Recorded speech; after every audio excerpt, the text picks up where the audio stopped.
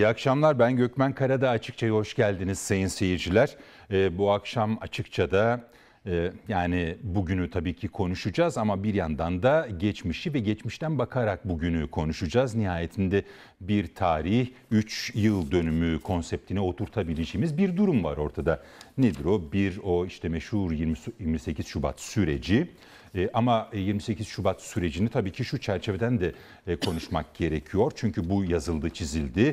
E, Adalet ve Kalkınma, o dönem Adalet Adalet ve Kalkınma Partisi ile birlikte hareket eden bazı isimler gelinen nokta itibariyle artık şunu bile söylediler. Biz kendi 28 Şubat'ımızı neredeyse yarattık. Yani Adalet ve Kalkınma Partisi bugün kendi 28 Şubat'ını mı yaşatıyor? İnsan hakları bağlamında, ifade özgürlüğü bağlamında, medya üzerindeki baskılar bağlamında, bürokrasiye hakim olmak bağlamında, yargıya hakim olmak bağlamında, askere hakim olmak bağlamında. Şimdi bunu konuşacağız. Başka bir tarih 3 yıl dönümü konsepti deyince dillendirmemiz gereken başlık e, Dolmabahçe mutabakatı. Yani 28 Şubat süreci 1997 ondan yıllar sonra bir çözüm süreci ve onun geldiği en kritik aşama Dolmabahçe mutabakatı. O da bir 28 Şubat'ta e, gerçekleşti. O fotoğraf, o fotoğraf ne anlatıyor? Çözüm sürecinde devletin rolü neydi? Erdoğan'ın rolü neydi? E, HDP'lilerin yahu o fotoğrafları göstererek İçişleri Bakanı bizi adeta suçlu ilan ediyor ama o fotoğrafların hepsi yani Kandil'de, İmralı'da devletin gözetiminde bilgisi dahilinde çekildi. Bunu konuşacağız. Bir tarih 3 yıl dönümü konseptinde e, üçüncü başlığımız da 27 Şubat'ın yıl dönümü. Geçen yıl 27 Şubat'ta 34 e, askerin şehit olduğu bir saldırı gerçekleşti İdlib'de. Kimilerine göre işte e, sorumlusu Suriye'ydi, kimilerine göre Rusya'ydı, kimilerine göre bu saldırının e, hesabı tam olarak sorulamadı. Yani verilmesi gereken e, yanıtlar, e, gösterilmesi gereken karşılıklar tam olarak gerçekleşmedi. Neden? Ne oldu İdlib'de? Bunları ele alacağız. Ama önce tabii ki e, salgına bakacağız. Adalet ve Kalkınma Partisi'nin salgın muafiyeti nereden kaynaklanıyor efendim? Görüyorsunuz sosyal medyada.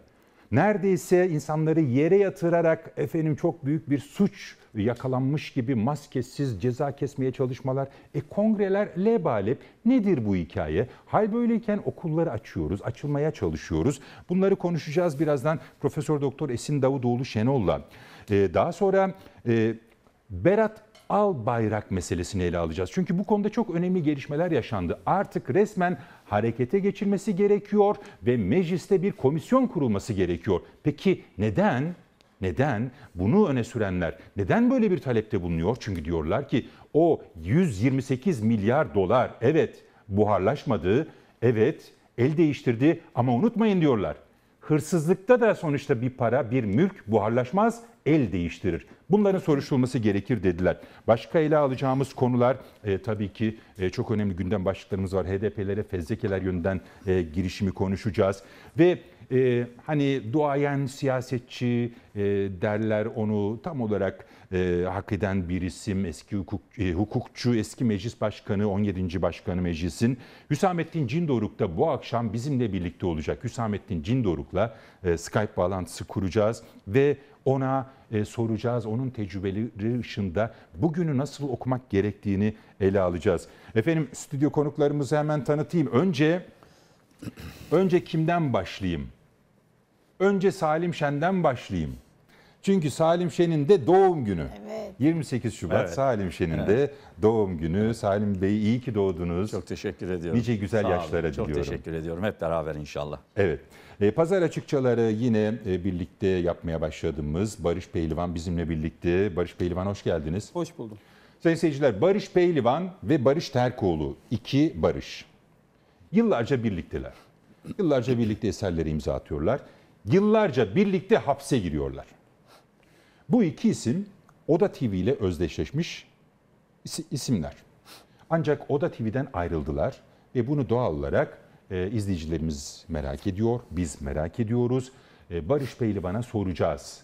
E, Oda TV ile bu iki barışın yolları neden ayrıldı? E, bunun arkasında Kamuoyunun bilmesi gereken bir takım nedenler var mı? Bunları konuşacağız kendisiyle. Evet bu pazar açıkça da bizimle birlikte olan siyasetçi akademisyen doçent doktor Gülay Yedekçi. Gülay Hanım hoş geldiniz. Hoş bulduk, teşekkür ederim. Evet efendim Skype bağlantılarımız olacak. Siyaset bilimci Doktor Erol Mütercimler bizimle birlikte olacak.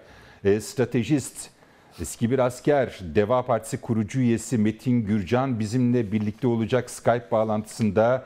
E, yayınımız uzun sürecek ve bu uzun süre boyunca da bütün başlıkları ele, ele alacağız. Şeyi unuttum yahu, e, ekonomist İbrahim Kahveci, Karar Evet. Gazetesi ekonomi yazarı İbrahim Kahveci de birazdan bize bu Albayrak meselesini anlatacak. Çünkü Albayrak meselesi dediğim gibi kendisine çok hasret kaldığımızdan bir an önce dönmesini beklediğimizden değil de adı bile doları bu kadar yükselttiyse o zaman şimdi merak ediyoruz. Ne olacak? Nasıl düzelecek bu işler? Önce salgında Adalet ve Kalkınma Partisi muafiyetiyle başlayalım. Profesör Doktor Esin Davutoğlu Şenol hazır olduğunda arkadaşlarım da bana e, hazır mı arkadaşlar? Çok az duyuyorum arkadaşlar. Hazır mı? Hazır mı? Tamam. Esin Hocam merhaba. Merhaba, nasılsınız? Teşekkür ediyorum hocam. Şimdi e, bir yandan arkadaşlarımız görüntüler getirecek ekrana. Bu görüntüleri siz de şey yaptınız, takip ettiniz efendim sosyal medyada.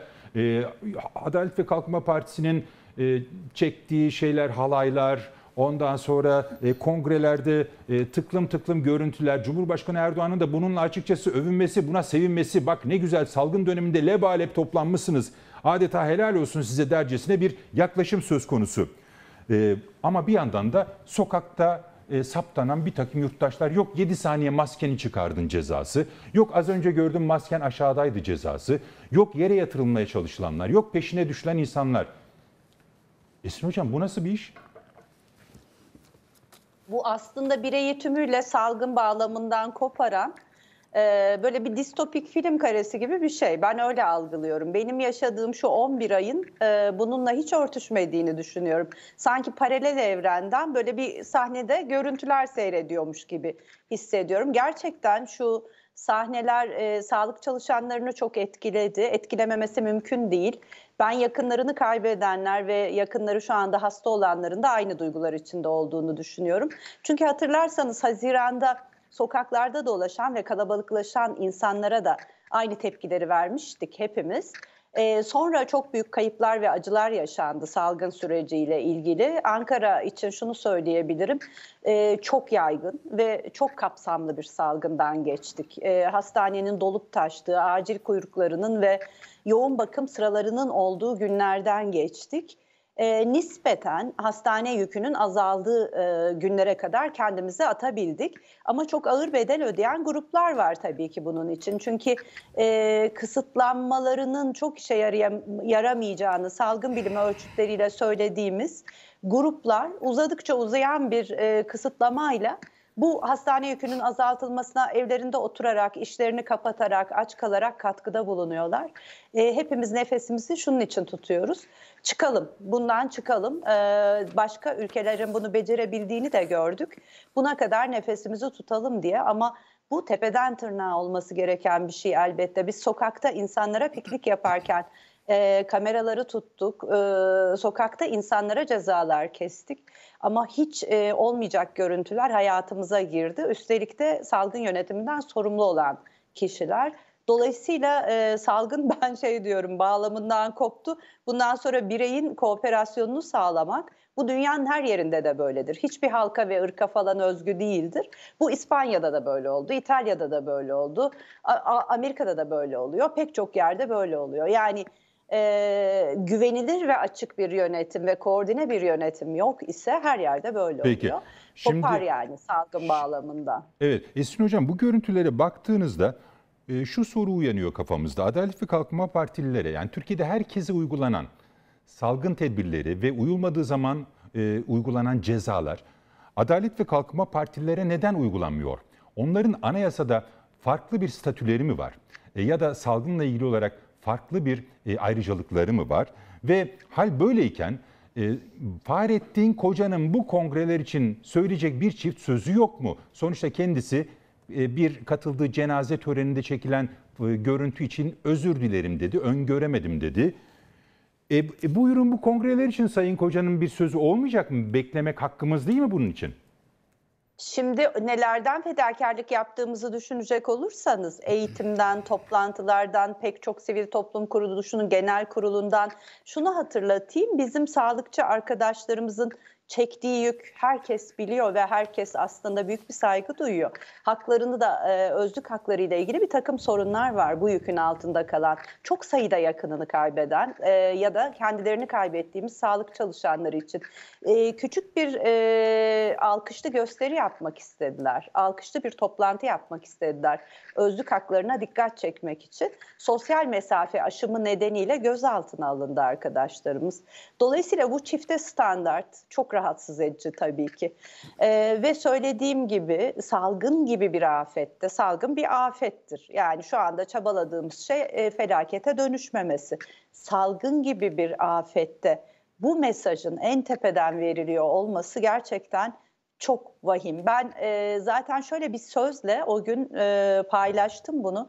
Bundan sonra e, salgın kurallarını aşan hiç kimseye benim söyleyecek artık bir lafım yok. Yani hiç kimseyle ilgili bir eleştirim olamaz ki ben e, insanların e, ellerinden gelen uyumu gösterdiklerini düşünüyorum. Algılayamamaktan kaynaklanan bir takım sorunlar var ama bugün bu konuda araştırma yapmış Bekir Ağırdır'ın da bir kanaldaki söyleşisinde e, salgını önemsemeyen hiç kimse yok. Herkes salgını önemsiyor. Sadece sınıfsal sorunlar ve farklılıklar var. E, salgın e, evinden çıkıp işe giden has, insanların hastalığı. Sonra da 7-8 nüfus bir arada yaşayan insanların hastalığı. Yani hiç kimsenin umursamadığı falan yok ama algılayamamaktan kaynaklanan ve iyi koordine edilmemekten kaynaklanan bazı sorunlar olduğunu hep söylüyorduk. Bunun için de sadece sokaklara seslenerek temkin, tedbir diyerek salgın yönetilemez. Çok daha koordine şeyler yapılmalı. Birey salgınla baş başa bırakılmamalı diyorduk. Ee, çok daha vahim bir örneğini yani o günleri arar hale geldik. Çok daha vahim bir örneğini görünce artık kimseyle ilgili böyle bir saptama yapabilme hakkımız olmadığını düşünüyorum ben. Peki. Sayın Bey ne diyorsunuz? Gördünüz görüntüleri sosyal medyada. Yok 7 saniyeliğine indirdin diyor nefes almak için maskeni ceza ödeyeceksin diyor. Git kardeşim işine diyor. İsyan ediyor vatandaş. Ya şu görüntülere bakın ya. Evet. Şu görüntülere bakın. Bu, bu, bu nasıl bir çelişkidir artık? Bunu nasıl açıklayacak iktidar? Ya Gökmen Bey yani biraz önce de söylediniz ya bugün yaş günüm. Bu yani uz, buradaki herkesten uzun yaşamış birisi olarak Allah uzun ömür versin. ülkenin amin hepimize. Ülkenin yani çok e, çeşitli e, siyasal iktidarlarına bizzat yaşayarak e, o günlerin içinde tanıklık etmiş de birisiyim. Yaklaşık 50 sene böyle geçti. Ya ben Bu mesele en uçtu artık. Şu yani. ana Hatay'daki kadar- halay görüntüleri. Evet yani ben şu ana kadar hiçbir dönemde emin olun riyakarlığın, ikiyüzlülüğün, yalanın, iftiranın, had bilmezliğin, suistimalin, sayın sayabiliriz ahlaksızlığın ve en önemlisi utanmazlığın hiç bu kadar sıradanlaştığı, hiç bu kadar normal karşılandığı, hiç bu kadar böyle içeriğinden ve anlamlarından koparılarak boşaltıldığı, anlamsızlaştığı bir dönem gerçekten görmedim. Ya yani buna ne denir? Hakikaten e, söyleyecek kelimeler bulamıyorum ya. Şimdi biz öyle bir dönemde yaşıyoruz ki yani ne akıl var işin içinde, ne mantık var işin içerisinde, ne e, gerçek bir iktidar var. Yani aklı ve bilimi önceleyen, ona göre bir program dahilinde bir şeyler yapmaya çalışan bir iktidar var. Öyle bir iktidar ki ya biz şimdi bunun yarattığı bir sürü maddi problemlerle karşı karşıyayız. İşte fakirleşiyoruz, bir sürü kamu kaynaklarımız, varlıklarımız çarçur edilmiş durumda. Hepimiz fakirleştik. Ya bu ülke bir sürü maddi değerini kaybetmiş durumda ama bunların emin olun nazarımda da hiçbir önemi yok son tahlilde. Niye? Ya biz sıfırdan, bir yokluktan, bir e, işgal halinde iken o günlerden bir cumhuriyet, bir devlet kurup 15-20 yıl içerisinde yurdun her tarafını sanayi tesisleriyle donatmış, o yokluktan bir başarı öyküsü çıkartmış, 20 yıl sonra uçak ihraç etmiş bir milletiz. Biz bu parayı tekrar kazanırız. Biz bu değerleri tekrar oluştururuz. Ama ya bu bozulan ahlakı, bu vicdanı, bu insanlığı, bu erdemi, bu giden değerlerimizi emin olun nasıl yerine tekrar koyarız en büyük şey de orası. Ya kardeşim iktidarda kalmak için her türlü numarayı çeviriyorsunuz. Her türlü e, utanmazlığı diyeyim yapıyorsunuz. Ya bir gün yaptığınızı ertesi gün bozuyorsunuz. Sırf iktidarda kalayım diye bunların hepsini yapıyorsunuz. Tamam. Bizi kamplaştırıyorsunuz, bölüyorsunuz, düşmanlaştırıyorsunuz. Ona da tamam. Ya bari bu bölücülüğü şu pandemi üzerinden de yapmayın. Ya öyle bir yere getiriyorsunuz ki bu ülke ikiye bölünüyor. Yani AKP'li isen bunların yanında isen, bunlara angaja isen senin pandemi ve bu mücadeledeki konumun, yerin, statün, ayrıcalığın çok farklı. Her şey sana serbest. Aşıyı da bulursun rahatça. Ama bunlardan değilsen ama muhalifsen e sen çok farklı muamelelere maruzsun. Ya şu gördüğünüz görüntüler bir rezalet. Ya hakikaten rezalet. Şimdi bu ülkenin cumhurbaşkanı yürütmenin başı anayasaya göre de bütün insanların yani bütün vatandaşların sağlık haklarını korumakla yükümlü kişi bir sürü önlem açıklıyor. Onun o açıkladığı önlemlerden dolayı bugün yüz binlerce insan işsiz, milyonlarca insan bedel ödüyor. Ama devlet başkanı Erdoğan'ın yaptığı bu önlemlere parti başkanı Erdoğan uymuyor. Yani diyor ki pandemi koşullarına rağmen bu salonları böyle tıklım tıklım lebalep doldurduğunuz için size teşekkür ederim deniyor. Diyor. Neden teşekkür ediyor? Ya Çünkü bunu diyen kişiye pandemide bunları doldurmak cesaret ister. Evet. Sağlığını ya, riske atıyorsun. Onu da söyle. Ya bu Hayat pandemiye var. rağmen diyor. Bu pandemiye rağmen diyor. Burayı doldurduğunuz için diyor teşekkür ediyorum diyor. Ya bu söz söyleyen birisi alınan önlemlere e, aykırı hareket ettiği için idari para cezasıyla cezalandırılması gereken bir kişi. Ya en önce birisi cezalandırılacaksa Sayın Erdoğan bu. Şimdi onu cezalandırmıyorsunuz. O kongrelere böyle sel gibi insanları polis e, eskortuyla diğer illerden böyle otobüslerle yolcu taşıyarak getirip oraları tıkış tıkış hale getiriyorsunuz. Bunun için teşekkür ediyorsunuz. Hiçbir uygulama yapmıyorsunuz. Ya beri taraftan bir çocuğa babası bankamatikten para çekerken polis diyor ki babana söyle 900 lira daha fazla para çeksin. Çünkü ceza yazacağım. Ya çöpten kağıt toplayan insanlara pandemiye aykırı hareket ettiği için ceza veriyorsunuz.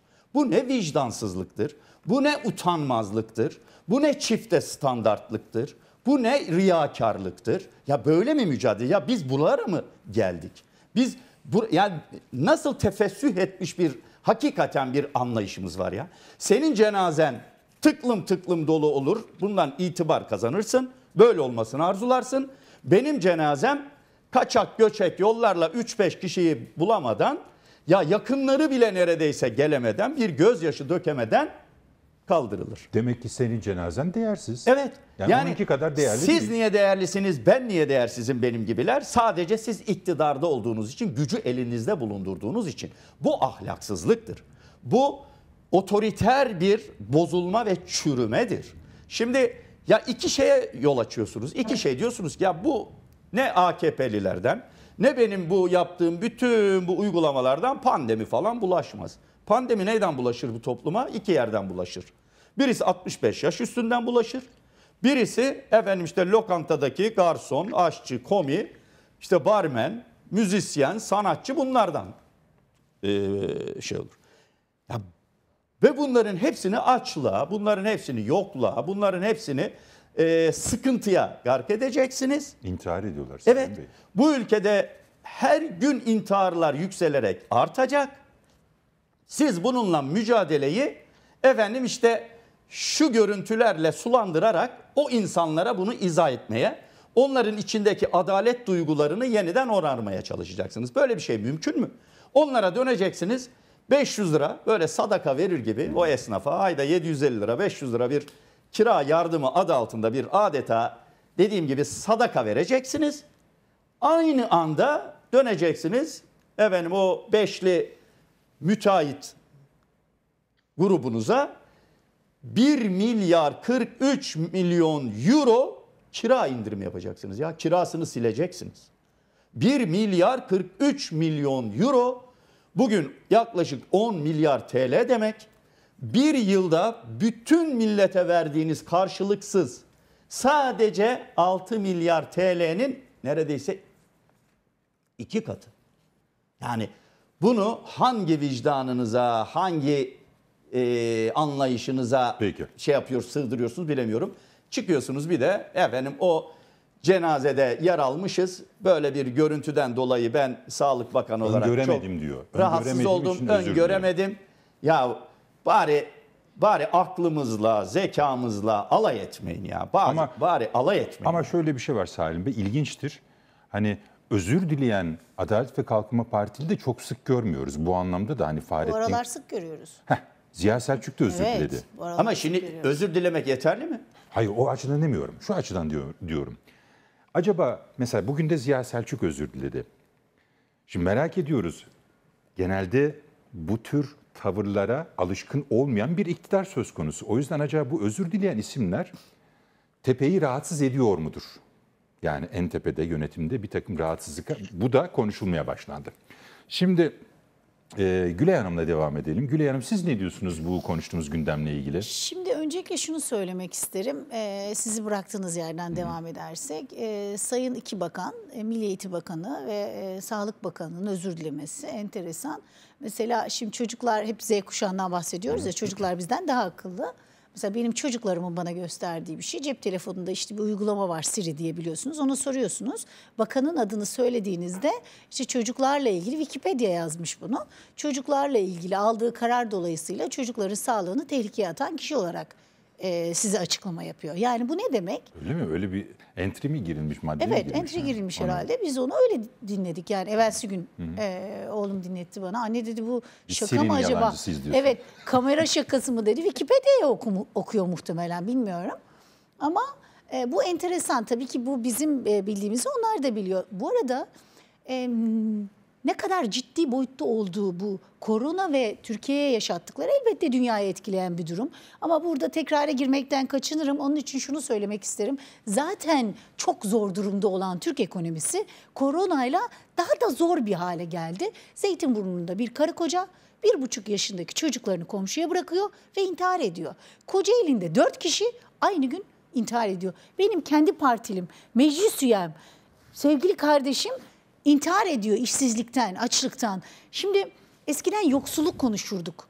Yani insanlar e, evini geçindirememekten, daha iyi koşullarda yaşamamaktan bahseder. Şimdi açlık konuşuluyor.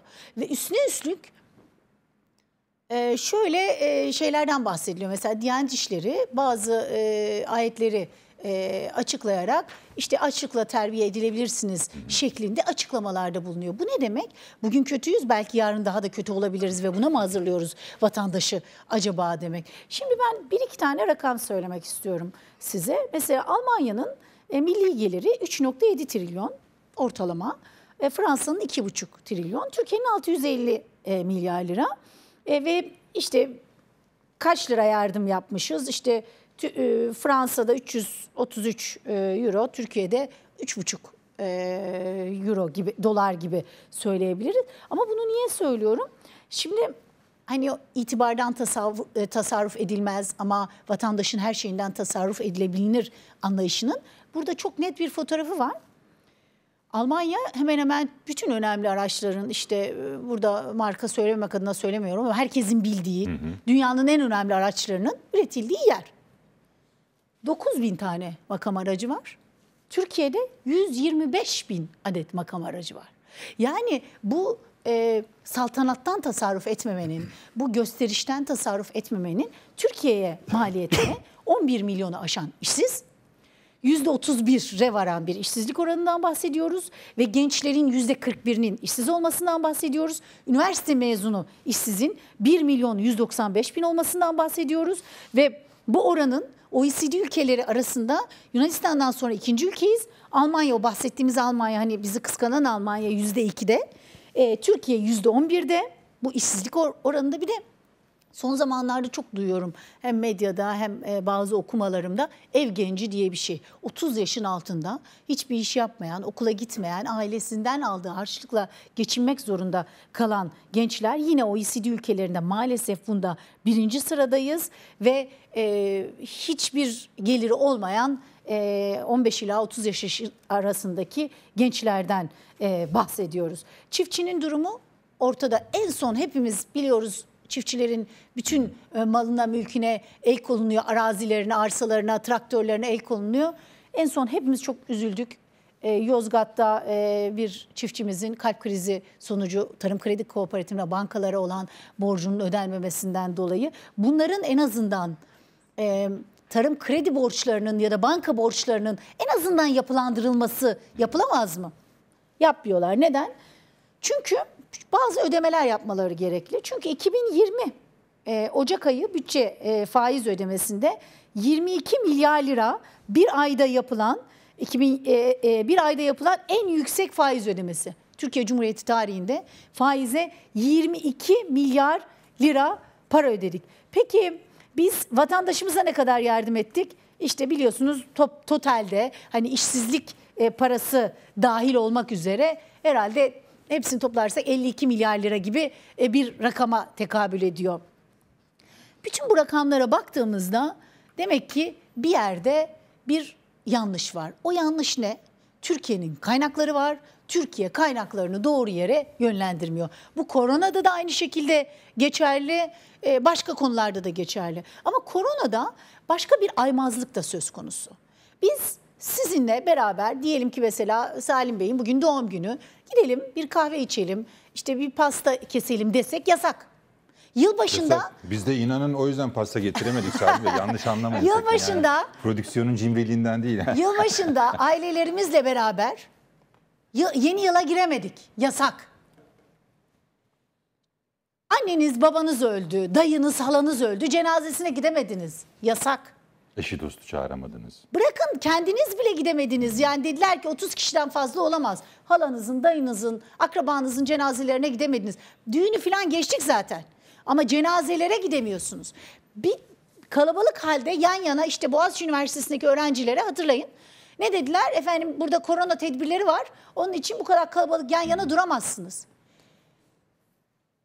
Beştepe'de işte hatırlıyorsunuz burada sizin programınızda da diğer e, şey programlarda da değerlendirildi. Hatırlayınız işte şarkılı, türkülü, eğlenceli gösteriler yapıldı. Onlara yasak değil. Her gün adeta yarın seçim varmış gibi ilk kongreleri e, gerekçesiyle hemen her gün birkaç ilde yan yana artık hepimizin diline pelesenk oldu. Lebalep yani tıklım tıklım ağzına kadar dolu salonlarda toplantılar yapılıyor. Yapılmaya devam ediliyor. Üstüne üstlük gençlik kolları da e tabii sen ana kademe olarak bunu yaparsan ben de demek ki böyle bir hakkım var. Ben de yapabilirim diyor. Peki burada, Hatay'daki halayı diyorsunuz. burada ne yapılıyor? Ne yapılmaya çalışılıyor? Ama şöyle Amaç yavaş ne? yavaş toparlayalım Hemen çünkü toparlıyorum. Esin hocamı çok bekletmeyelim. Evet, hemen toparlıyorum. Burada amaç ne? Siz asker uğurlamaya bile izin verilmeyen bir ortamda asker uğurlamaya bile gidemiyorsunuz ama AKP kongrelerini yapabiliyorsunuz. Niye? Ben benim penceremden iki e, sebep var. Birincisi sürekli oyu düşen AKP. Aslında biz ölmedik, ayaktayız. Daha da güçlenerek devam ediyoruz. Görüyorsunuz bu kadar kalabalıkları hala toplayabiliyoruz diyor. Bir ikincisi de belki de AK Partiliysen sana her şey mübah. Gel AK Partili ol ve bütün mübahlardan sen de faydalan denmeye çalışılıyor olabilir. Zaten sosyal medyada şöyle espriler yapıldı bu görüntüler yansıdığında. Hani bugünlerde bir arkadaşıyla oturup bir yerde kahve içemeyen, çay içemeyen varsa bir baksın hani şehrinde bir AK Parti kongresi varsa oralarda bunu yapabilir tarzında. Kahveler yazıyor zaten. Evet, böyle yani espriler. AK Parti kongresine açıktır, Açıktır. bekliyoruz şeklinde. Bugün bir genç çocuğu dört tane güvenlik görevlisi kolundan çekiştiriyor. Bekçi. Maskesi e, çenesinde diye. Bekçi. Çocuk diyor ki tamam geleceğim ama çocuğu yine de çekiştiriyorlar. Ya çekiştiriyorlar kafasını yere yatırdıkları var. Bu Bir ya? hanımefendinin bugün yaşadığı Bu haberlerde nedir ya? izledik. Bu nedir Allah Evet. aşkına ya? Böyle bir şey olur mu? Çocuklar evde, doktorlar Erkan- çile çekiyor. Erkan Eren diyor ki vallahi şey şiir gibi yazmış yani uyaklı yazmış. Lebalep kongre, lebalep hasta, sağlık çalışanları zorda, vebali kimin boynunda? Bir de Bak, Sağlık Uyak Bakanı yazmış. Çok belli. Bir de Sağlık Bakanı Vebali bunu nasıl kongre, açıklayacak Bey? pasta, sağlık çalışanları zorda, vebali kimin boynunda? Yani Sağlık Bakanımız nasıl açıklayacak bunu onu da anlatmak lazım. Yani hani bununla ilgili e, karar almıştı. Hani çok ciddi işte he- e, sağlık emekçilerini alkışlıyordu. Çok önemli. Ç- Beş tane maskeyi bile dağıtamadı biliyoruz. Ama bugün artık tamam diyelim ki şey için özür diledi. Ben- Cenaze için özür diledi. Peki hiç AKP kongrelerini görmüyor mu Sayın Sağlık Bakanı? Onlar için özür dileyecek mi? Onlar için ne Ben yapacak? şunu çok merak ediyorum ya. Mesela şu görüntü var ya biraz önceki o halayların çekildiği, maskelerin böyle kollara takıldığı. Hatay'daki. Hatta maske, e, maskeyi böyle şey halay mendili olarak kullanıyorlar şu görüntülerde. Mesela bunlara, buradakilere herhangi bir ceza işlem uygulandı mı? Uygulanabilir mi? Hayır Yok, uygulandı. mı? teknik olarak ya, soruyorum Salim Bey. Yani mesela ilgili yetkililer şu görüntüleri alıp tespit edebildiklerine ceza uygularlarsa Türkiye'deki kanunlara göre şu anda yapabilirler mi böyle bir şey? Tabii ki yapabilirler. Şimdi bakın biz ne zaman adam oluruz? Biz ne zaman İnsan oluruz. bir insan oluruz? Evet. Biz ne zaman Teşekkür bir hukuk ederiz. devleti? Biz ne zaman bir çağdaş gelişmişlik düzeyine ulaşırız? İşte bu görüntülerdeki kişilerin bir parti ya da iktidar ayrımı yapılmaksızın kim olduklarına bakmadan haklarında bize uygulandığı gibi eşit işlem, e, eşit müeyyide uygulandığı zaman işte parti başkanı Erdoğan'ın o konuşmasını yapıp pandemi koşullarına rağmen burada e, bu kalabalık toplandı. Hepinize teşekkür ediyorum dediği zaman hepimizin ayağa kalkıp senin yaptığının bizden bir farkı yok. Biz aynı şeyi yaptığımızda cezalandırılacaksak sen de cezalandırılmasın cezalandırılmalısın dediğimiz zaman senin bu yaptığın bir yönetici tavrı değil, senin bu yaptığın bir lider tavrı değil, senin bu yaptığın bundan dolayı bedel ödeyen, bundan dolayı canından, malından olan insanlara bir haksızlıktır deyip bu itirazda bulunduğumuz zaman olur işte. Peki. Ya bu kepazelik, hakikaten kepazelik. Evet. Barış Pehlivan'a birazdan söz vereceğim. Nihayetinde bugün Salim Şen'in doğum günü. Barış Pehlivan doğum günü değil. Biraz daha bekletebilirim onu. Şimdi e, Esin Hocam bu e, izdiham gibi görüntüler de var. Yani bir kısmı çok yakın e, görüntüler, bir kısmı da izdiham gibi özellikle kongre salonuna giderken merdivenlerden dip dibe artık. Yahu e, bu görüntülerde birbirine virüs e, yayan insanlar Sonunda evlerine gidiyorlar, Tabii. çarşıya gidiyorlar, aramıza geliyorlar, oraya gidiyorlar, buraya gidiyorlar. Ya bunlar nasıl bir hızla yayıyor? Yani nedir? E, Şimdi çok yakın geçmişte hatırlayacaksınız Amerika'da Trump'ın yaptığı mitingler ve toplantılar sonucu 30 bin kişinin hastalandığı, 3-4 bin kişinin de bu yüzden öldüğü ortaya çıktı. Yani orada e, bu tespitler yapılabiliyor ve galiba onunla ilgili de bir şikayet süreci var onun hakkında. Çünkü bu öyle bir şey ki biz insanlara diyoruz ki yani e, sadece kendinizden değil etraftan da sorumlusunuz. E, yanınızdaki her insana siz hastalık bulaştırabilirsiniz. Sadece kendinizi korumakla yükümlü değilsiniz diyoruz. Bütün bu işsizliğin, bütün bu e, açlığın, dükkan kapamaların, bütün bu acıların yani aslında şöyle söyleyeyim salgın yönetimiyle ilgili doğru kararlar bilimin ölçütleriyle alınmış olsaydı Türkiye'de bu kadar ölüm olmayacaktı. Bu söylediğim bile yeterli aslında durumun açıklanmasına. Çünkü bir ülke salgın yönetiminde dört tane salgın yönetim biçimi vardır. Onlardan hangisini belirlediğiyle ilişkili olarak en kötü olan İsveç'in belirlediğiydi hatırlarsanız ve e, onu baştan İngiltere'de denemişti ve hala bedelini ödüyor. Onun bir üstünde de biz varız. Yani ne demek biz varız? Bizim seçtiğimiz yöntem. Neyi seçiyoruz biz? Salgını hastaneye yansıtmayacak kadar salgının salınımına izin veriyoruz. Bu ne demektir? Siz belli kesimlerin, belli duyarlı grupların korunmasını e, sağlayamıyorsunuz ve e, bazı ölümlere ve hastalıklara razı oluyorsunuz demektir. Bugün çünkü şunu biliyoruz biz belli gruplarda ölüm oranları yüzde otuzlara ulaşıyor ama toplum geneline baktığınız zaman yüzde ikilik bir ölüm oranından bahsediyoruz. 65 yaş üstü de onun için evde zaten. Yani hastaneye gelip de başımıza iş çıkarmasın, oradaki skoru artırmasın diye.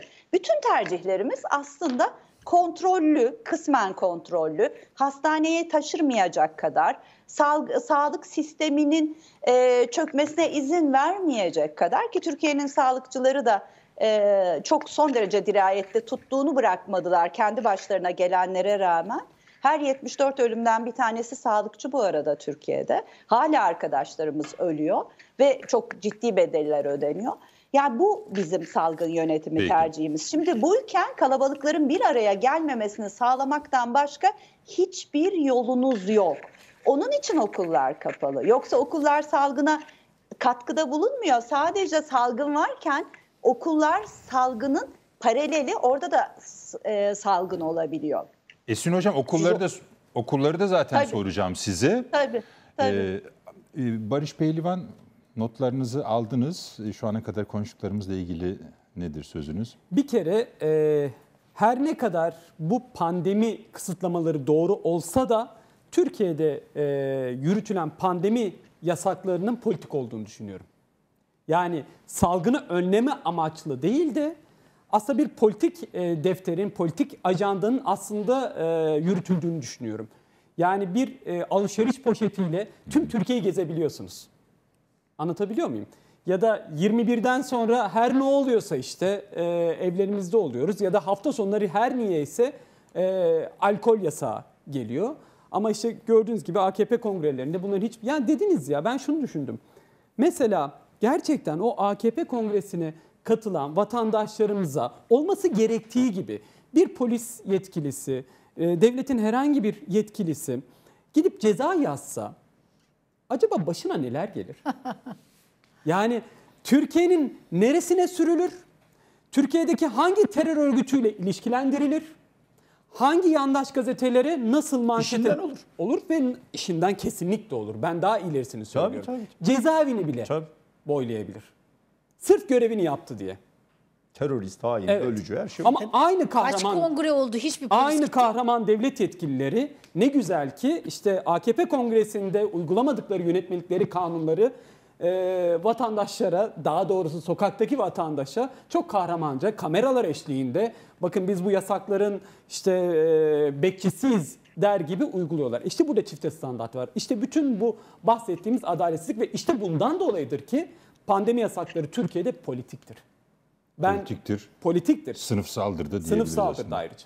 İşçiysen çıkabilirsin kardeşim dışarıya. Tam, aslında tam Yani bir parti şimdi- devleti tanımı Şimdi yaptı. şöyle Paran varsa Salim Bey, izleyicimiz ki sizin için. Salim Bey balık kavağı çıkarsa bunlar da cezalandırılır diyor. Eğer balık Çok kavağı doğru. çıkarsa böyle bir şey gerçekleşirse yaptıkları tanımlama- bunlar da Şimdi Cezalandırılır. Barış'ın da burada işaret ettiği aslında tam bir parti devleti.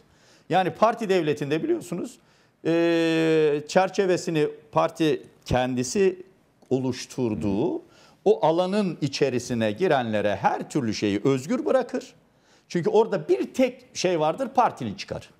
Partinin çıkarı neyi gerektiriyorsa o davranışların hepsi meşru, yaş- yasal ve hukukidir.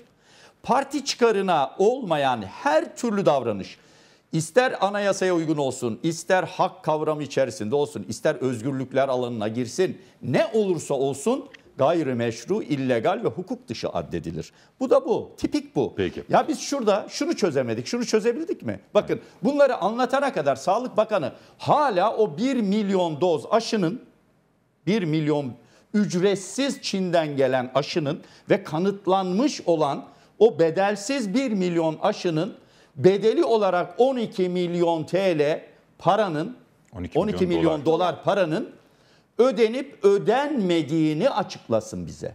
Buradaki suistimali ve yolsuzluğu varsa bunu ortaya koysun ve gereğini yapsın. Şimdi ya hem pandemiyle mücadele edeceğiz hem sizin her türlü suistimalinizi, buradaki e, usulsüzlüklerinizi tartışmayacağız. Onları da kapatacağız. Böyle bir şey yok. Bir gün diyorsun ya bu kaç aşı geldi belli değil. Biz ne zaman aşılanacağız belli değil. Bu süratle giderse aşılama iki seneyi bulacak. İki senede bir aşılama takvimiyle pandemi mücadelesi mümkün müdür?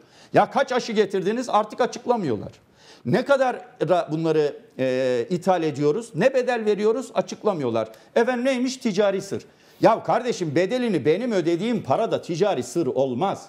olmaz mı? Ticari sır İki tarafı da özel kişiler arasında yani özel ticarete konu olaylarda olur. Sizinle ben eğer burada Barış'la ikimiz bir ticaret yapıyorsak bedeli aramızda bir ticari sırdır. Hiç kimse ilgilendirmez.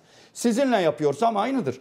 Ama devlet olarak yapıp benim vergilerimle ödüyorsanız ticari sır olmaz. Peki. Tam tersi bana hesap vermek zorundasınız. Benim paramı kullanıyorsunuz. Peki. Onun için kamu, kamu, diyoruz ya. Kamu Onun için kaynağının kullanıldığı. olmasını Ya istiyoruz. bunu anlatın bize. Tamam, bir Bu saniye. aşılar nerede? Kamu kaynağının kullanıldığı bir harcamada ticari sır olmaz diyor Salim Bey.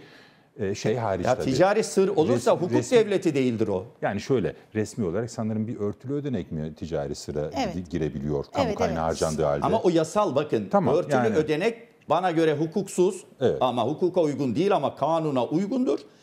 O şekilde bir yetki verilmiştir. Peki. Ama bir aşının bedeli bakın ya ücretsiz üstelik gönderilmiş bir aşıya ödeme yapıyorsanız bunun sırrı olmaz. Tamam. Dozunu Bu- 12 dolar. Bunun sırrı demek suistimalimizi kapatıyoruz. Yolsuzluğumuzun üstünü örtüyoruz demektir. Bu kadar net. Ama orada ben yine de şeyi hatırlatayım. Yani bu CHP'nin iddiası e, ve Hayır, bunun hayır Çin bunu açıkladı. Tamam, Salim Tabii Bey, tabii Sayın Genel Başkanımız verin. Kemal Kılıçdaroğlu'nun iddiası var. Bu konuda da konuştu. Grup toplantısında da söyledi. Tamam. Videoda açıkladı. Bir, evet. bir- bir ekleyeyim ki ben ben yayıncıyım çünkü. Ben benim konuşmalarım aynı zamanda yayıncı sorumlulukların da yerine gelmesi anlamında Ee, ve bir belge de gösterdi. Ondan sonra bu belgede de 1 milyon doz aşının bedava verildiğine ilişkin bir ifade var. Dolayısıyla bunun e, sanki bedava değilmiş gibi parayla fatura edilmesi devlete kamu kaynağının e, şey çarçur edilmesi anlamına geliyor. Ama Sağlık Bakanı bir buna dedi ki işte ticari sır dedi vesaire dedi Şöyle. şuydu buydu. Fakat CHP iddiasında hala ısrarlı. Yani CHP hala tatmin edici bir yanıt bekliyor. o yanıt henüz ama gelmiş değil. Gökmen Bey Çin açıkladı. Bakın CHP değil Çin açıkladı. Dedi ki bizden bir teminat istediniz. Hayır hayır. Bu alışveriş Ben karşılığı. o 1 milyon hayır, hayır, onu söylüyorum. bedava olduğunun muallak olduğunu söylemiyorum. Onun paraya e, endekslenerek, fatura edilerek e, devlete e, verildiğine ilişkin onu söylüyorum. Yani o bir iddia. O konuda belgeler de gösterdi CHP. Sağlık Bakanı bunu kabul etmiyor ama Firmanın CHP de adını iddiasında ısrar ediyor. Tatmin edici bir yanıt bekliyor. E, Sağlık yok. Bakanlığı biz bunun bedelini ödedik diyor. Peki. Siz Çin diyor sadece ki şeyi teminat atladınız olarak biz size Bey. gönderdik diyor. Siz sadece şeyi atladınız. AKP belki de virüs terbiye etti. AKP kongrelerine hiç bulaşmıyor. Ama işte kafeteryalarda, lokantalarda, dışarıda, evlerde bulaşıyor. Öyle Peki. bir şey var. Şimdi Nur Erdem Özeren'in tweetini getirelim arkadaşlar. Nur Erdem Özeren'in tweeti. Kendisi eğitim camiasında yani daha doğrusu eğitim, öğretim, işte e, üniversite seçimleri, kariyer seçimleri konusunda e, dikkat edilen, takip edilen bir isimdir. Diyor ki Nur Erdem Özeren, okullar açılacak, vazgeçtik açılmayacak. Yok yok açılacak, bir dakika durun bir daha değerlendirelim. Biz değerlendirdik ama bir daha değerlendirilecek. Yarısını açıyoruz. Yok yok birazını vazgeçtik, açmıyoruz. Hadi tamam açalım, biraz açık kalsın, kapatırız. Eğitime verdiğimiz önem Türkiye Tam durumumuz uçuyor. bu. Harika Şimdi- yazmış. Tam da bu. Şimdi Annesiniz çocuğunuzu Yani okula tam da bu. göndereceksiniz. Buyurun nasıl göndereceksiniz? Buyurun nasıl Hadi göndereceksiniz? bakalım. Esin hocama soralım. Esin hocam ne dersiniz? Vaka sayıları artıyor. 6 binlerden 9 binlere çıktı tekrar. Bir yandan işte okullar açılacak mı, açılmayacak mı? Bugün açıldı, yarın açıldı. Ziya Selçuk da özür diledi. Siz ne diyorsunuz? Öncelikle şunu söyleyeyim. Yaptığımız test sayısını düşünecek olursanız ve ayağıyla hastaneye gelenlere test yaptığımızı da düşünecek olursanız oradaki sayıları 4 ile çarpın. Yani 30-40 bin civarında aktif vaka olduğunu e, ve yukarı doğru tırmanan eğrinin de kolay kolay aşağı inmeyeceğini. Bunun nedeni aldığımız önlemlerin yetersiz olacağını, belli bir noktaya kadar getireceğini, ondan sonra tekrar artacağını zaten biliyorduk. Ayrıca çok yorucu bir süreç. Ee, dediğim gibi bireyler de uyum sorunu yaşıyorlar gerçekten. Şimdi okullar, e, herhalde okulları 13 ay kapalı kalan tek ülke biziz. Yani böyle bir örnek yok dünyada. Çünkü e, ne yaptılar ettiler salgın eğrilerini belli düzeylere indirdiler E, bilimin metotlarını soktular. Nedir o bilimin metotları? Mesela genomik epidemiyoloji çalışmaları yaptılar. E, salgın e, Çankaya Mahallesi'nde nerede hangi bölgeden kaynaklanıyor? Okula yakın var mı yok mu? Bunu bularak okullarını açık tuttular. Pek çok Avrupa ülkesi bunu böyle yaptı. Özellikle 12 yaş altı çocukların eğitimiyle ilgili veriler okulların e, salgın yönetilebilirse okulların açık kalabileceğini gösteriyor. Üniversitede iş birazcık daha zor üniversite ve liseler için. Ancak ben artık üzerinden bir yaz geçtiği için bir yaz önce demeyin bir buçuk yaz önce iki, iki yaz önce kapısını kapattığımız okullar var ya bir tek sınavlar için açtık. Lebalep çocukları doldurup yüz yüze sınavlar yaptık. Ankara onun için bir ara Wuhan oldu. Ankara'da patlama nedeni bu kadar büyük kitlelerin bir araya getirilmesi hem de sessiz taşıyıcı olabilecek grupların bir araya getirilmesi. Orada çok trajik şeyler yaşandı. Ben de kendi yaşadıklarımdan kenara notlar alıyorum. Çocuğu üniversite sınavına girmiş, e, ailelerde yaşanılan şeyler var. Olmadı diyorlar ama yapılan filyasyonun yani bir veri karanlığındayız bir yandan da onu da unutmayın. Ama bizim kendi kişisel gözlemlerimiz bile artık sens etmeye yetiyor bunları. Ee, şimdi e, geldik 13 aydır kapalı olan okullarla hayat bağdaşmıyor. Hayat çok büyük bir kesintiye uğradı. Herkes bunun acısını çekiyor. Bir tek bizler için kesintiye uğramadı. Her gün işimize gidip hasta bakıyoruz. Baktığımız hastanın natürü değişti sadece ama onun dışında Türkiye'de her kesim için hayat kesintiye uğradı. Bunun en korkunç tarafı da yönü de okullar. Dolayısıyla biz yaz avantajını da kullanmayarak, kapısına kilit vurduğumuz okulların altyapısıyla ilgili hiçbir hazırlık yapmayarak. Şimdi havalandırma diyoruz, hijyen diyoruz, sosyal mesafe diyoruz. Ee, dünyanın çıkardığı kurallar eğer sarı bölgedeyseniz 7 günde bir çocukların testle taranması diyor. Artık testler çocukların kendi burunlarına sokup verebileceği kadar basitleşmiş dünyada. Bunların çok iyi bulanları da var. Amerika bunu alıyor, FDA buna onay veriyor. Bilimin 11 aydaki geldiği noktadan da çok kopuz. Yani biz Mart'ta ilk vakamızı bir türlü açıklamadığımız ilk vakamızı açıkladığımız günden beri aynı ezberi tekrarlıyoruz. Sanki sihirli bir el değilsin, gitsin salgın, bir sabah normal uyanalım. Böyle bir şey olmayacak. Bunu anlatmaya çalışıyoruz. Ayrıca bu yeni yeni e, yüzü salgının bize farklı şeyler gösteriyor. Bizimle kalacak. Yatıştırsak bile risk grupları için, kalabalık yerler için tehlikeli olmaya devam edecek. Onun için siz havalandırmanızı, mesafenizi, basit testlerinizi, topluluk için yapılacak testleri ben bugün otursam size 10 tane değişik kalemde artık bir ay önce hiç konuşmadığımız şeyler anlatırım. O noktaya geldik. Bazı şeyler o kadar hızlı gelişiyor ki ve anlamakta güçlük çekiyorum. Biz dünya ile ortak bilim dilini nasıl kaybettik? Ne zaman kaybettik acaba? Yani onlar bunları konuşurken ve yaparken bizim hala tuhaf bir şekilde okulların kilidini açacağız ve çocukları oraya sokacağız noktasında olmamız ne kadar tuhaf bir şey. Peki o çocukları nasıl izole edeceğiz? Nereye yollayacağız? Üç kuşak bir arada kalıyor. Bunun için okul kapanmasın demek, açılmasın demek. 11. ayında bir salgında bir bilim insanına zuldür ne ayıp bir şey. Yani bana bırakın ben okulları açacak hale getireyim mesela bu kadar iddialı söylüyorum. Bana bırakın ben 3 aylık bir aşı stratejisiyle ülkenin anahtar alanlarını açayım. E hal böyleyken yapmak istememenin nedeni ne? Ben çok iyi bildiğim için söylemiyorum bunu. Bunlar basit şeyler artık. Çok basit şeyler artık. Sadece istemekle ilgili bütün bunlar. Peki. Vallahi Esin Hocam çok güzel söylediniz. Yani bana bırakın alınması gereken bütün önlemleri gayet iyi biliyoruz. O önlemleri hayata geçirerek e, okulların açılabilir, açılabilir duruma gelmesini sağlayayım. Muhtemelen size bırakıldığında Filiz Pehlivan'la da çalışırsınız herhalde birlikte. O da havalandırma sistemlerini e, gerçekten çünkü bu çok önemli bir konu. Filiz Pehlivan ısrarla bunu vurguluyor ve bizim de hep en çok atladığımız konu Türkiye'de. E, Profesör Doktor Esin Davutoğlu Şenol çok teşekkür ediyorum Sayın Şenol katıldığınız için. Ben teşekkür ediyorum. Salim Bey doğum gününüz kutlu olsun Çok bu teşekkür arada. ediyorum hocam. Mutlu Çok ve sağlıklı sağ yaşlar olun. olmasını dilerim. Hepinize iyi yayınlar. Sağ olun. Hoşçakalın. Çok teşekkürler. Evet, valla Esin Hocam anlattı. Yani testler bile artık bir çocuğun kendi kendine burnuna hemen Cep sokup çıkıp bu şekilde şey yapılabilecek olacak, bir evet. halde. E biz şu anda inanın hani bir test olmaya gittiğimizde Allah diyoruz yine o burnumuza sokacaklar, sürüntü alacaklar, bilmem ne Mikrop yapacaklar. Onun rahatsızlığını yaşaya yaşaya e, gidiyoruz.